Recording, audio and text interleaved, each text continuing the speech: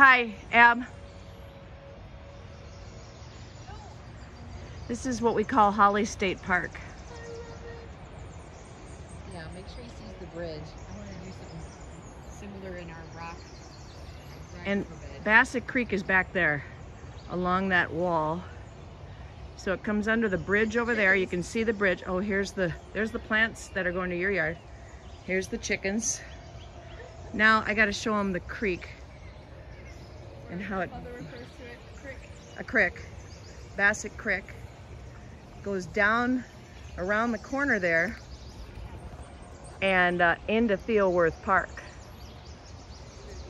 So it's coming from the bridge I showed you. Okay, say. Bye.